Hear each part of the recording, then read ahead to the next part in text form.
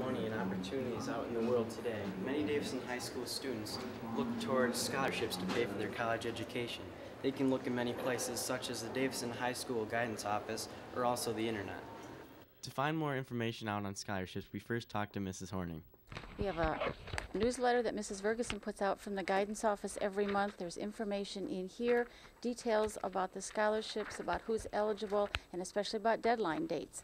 If you want to come down to the guidance office, you can see in the milk crates right here, there are applications and more information available. We then talked to Mrs. Ford for further scholarship information.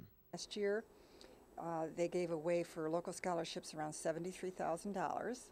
So my advice to all seniors is to apply for any one that fits you. A lot of them have just a, a generic kind of um, approach and qualifications, meaning just go to college and therefore you can um, apply for their scholarship. It usually requires an interview and certainly the application first. And they do have deadlines, so you have to be careful about that.